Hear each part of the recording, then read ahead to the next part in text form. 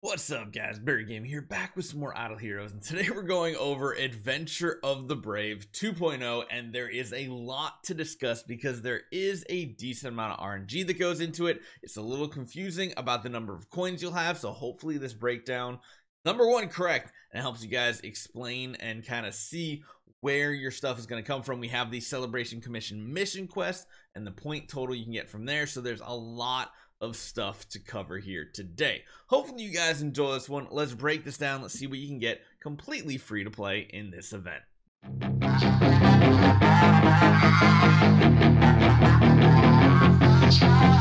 So the first thing we need to talk about is this celebration commissions because I did this same mistake last year. I literally recorded this entire video and then I realized I messed up again. Instead of them being down like they usually are, normally let's go like one, two, three, four, five, six, seven, eight what you can get. This time it goes across, which means you're gonna get a hundred less coins than I originally thought, and I had to redo a ton of my calculations but let's go over the quest systems here. So up the very top here you'll notice the actual uh entire quest that we're talking about. First off is the tavern quest. So this is starting five star or above tavern quest. You'll get three points for each one of them meaning 16 total will generate you 48 points. Not coins. Very specific. These are points to then get coins. These are not directly coins uh, the next one is using four ordinary dice in Imps Adventure nets you four points for a total of 400.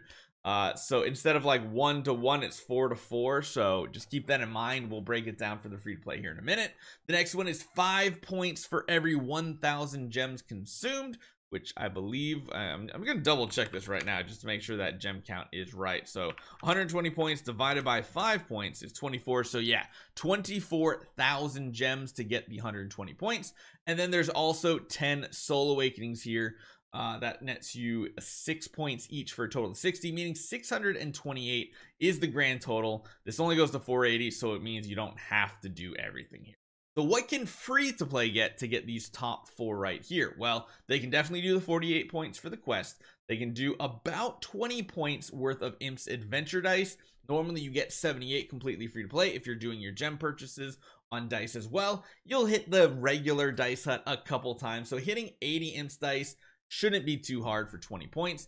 Uh, consuming 24,000 gems should be super easy even for brand new free to play players for the 120 points. And then if you want to do soul awakenings that is another 60 so what is that going to get you? That's going to get you 200 of these coins. You go two we got 50 50 50 50 you're going to be able to get all of these. That's going to net you 200 coins. And then of course there is the joyful quiz as well which can generate you an additional 120 for 320 total. And then it gets a little bit tricky when we talk about rng in next event. Now one thing to just talk about briefly if you don't want to do these 60 or these 10 soul awakenings for 60 points that does mean you're only going to have 150 coins which means you're only going to have 270ish that might be enough. As i'm going to say wait till thursday to do this event free to play. Do not jump the gun because you want to see what imps adventure dice gets you and then you want to see what type of tavern quest you can get.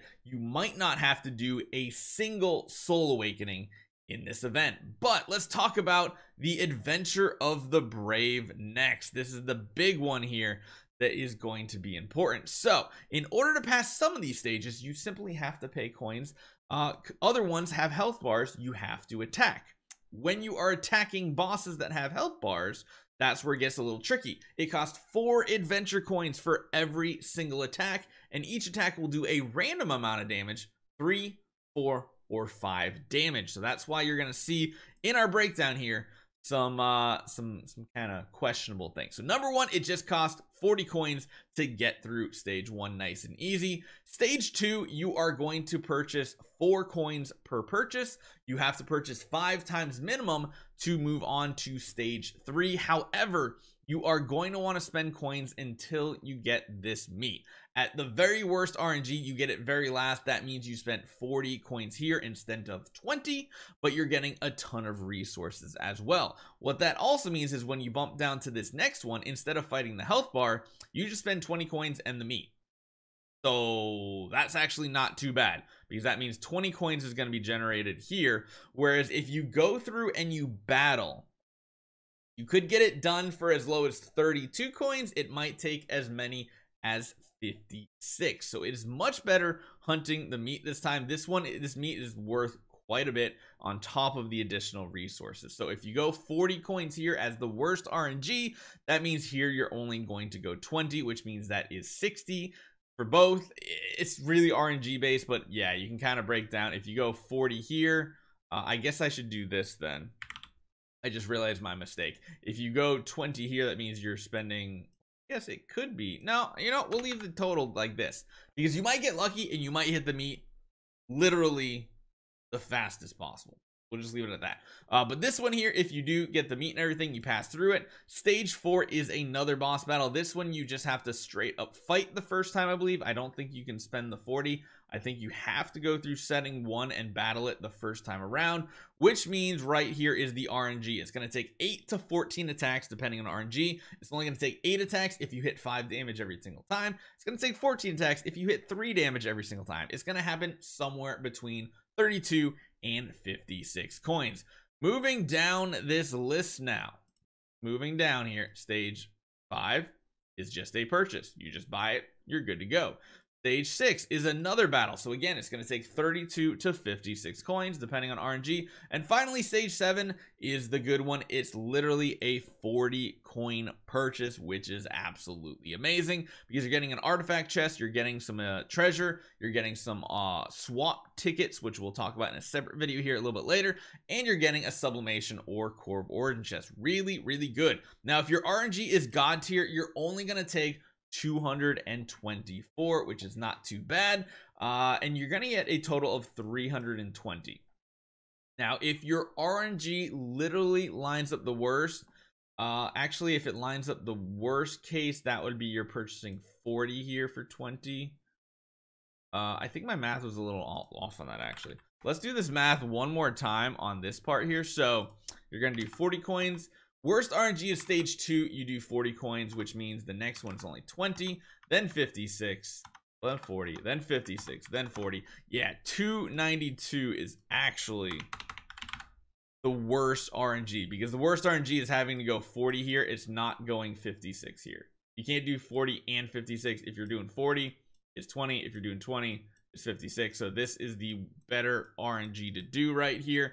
292, which means you are easily accomplishing this, which means you can probably do a few less things. If you only get 150 point coins from this by not doing this, uh, 150 is 270. Like I said, 270 is if you don't do this right here, you get 270 total adventure coins.